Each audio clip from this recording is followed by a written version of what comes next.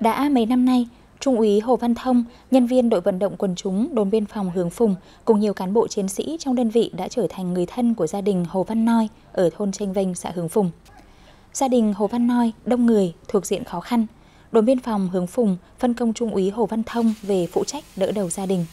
Được sự hỗ trợ kịp thời từ tạo sinh kế, hướng dẫn cách thức làm ăn, phát triển kinh tế, đặc biệt được khuyến khích tham gia vào tổ đan lát truyền thống của thôn – Đến nay, cuộc sống của gia đình ông Hồ Văn Noi đã có nhiều thay đổi. Trước là gia đình tôi là, là rất khó khăn, đến khi là có là là mấy chú một đội biên phòng đồn 609 như, như tram về tuyên truyền về đặc biệt là mấy anh mấy chú là là vận động quân chúng về tân nhà tân cửa về tuyên truyền để là phát triển kinh tế trồng như trồng cà phê như là trồng tiêu hoặc là một trồng là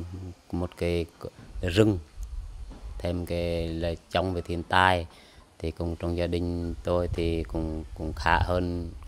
so với mấy năm trước thì trường có là cụ ăn cụ đệ Xác định việc phân công đảng viên đồn biên phòng phụ trách các hộ gia đình ở khu vực biên giới là một trong những nhiệm vụ chính trị trọng tâm. Những năm qua, đồn biên phòng Hướng Phùng đã phối hợp chặt chẽ với cấp ủy đảng, chính quyền địa phương làm tốt công tác giảm nghèo bền vững. Từ đây nhiều mô hình ý nghĩa, hiệu quả đã được thực hiện. Hàng năm, đồn cử cán bộ về giúp đỡ 18 hộ gia đình. Đến nay, gần 100 hộ nghèo được Bộ đội Biên phòng hướng phùng đồng hành, tiếp sức vươn lên thoát nghèo bằng những việc làm ý nghĩa như hỗ trợ cây và con giống, hỗ trợ bà con đồng bào dân tộc thiểu số làm du lịch cộng đồng, vân vân. Tập trung sự lãnh đạo, chỉ đạo của Đảng ủy, chỉ huy, phát huy vai trò của người đứng đầu, cán bộ chủ trì các cấp. Đặc biệt là cán bộ, đảng viên được phân công phụ trách các hộ gia đình quán triệt và thực hiện nghiêm túc đạt hiệu quả. Ở thông qua cái ờ, vấn đề phân công nhiệm vụ các ờ, đảng viên về sinh hoạt ờ, tham gia với các hộ gia đình ở khu vực biên giới thì bà con ở khu vực biên giới đặc biệt là các cái hộ nghèo, hộ cận nghèo cũng trong làm ăn kinh tế cũng đã có cái, cái phát triển khởi sắc, có cái thu nhập.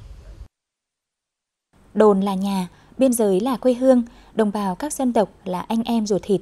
Khẩu hiệu đó được đồn biên phòng Hướng Phùng thực hiện bằng việc làm cụ thể.